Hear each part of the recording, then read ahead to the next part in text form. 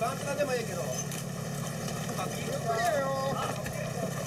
ゆっくりやよ。と。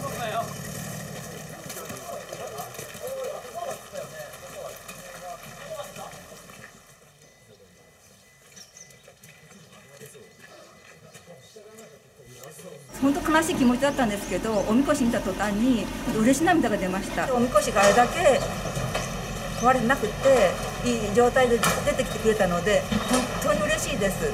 神様が本当にご神木も守ってくれたなと思ってうまいこと倒れてくれたなと思いました。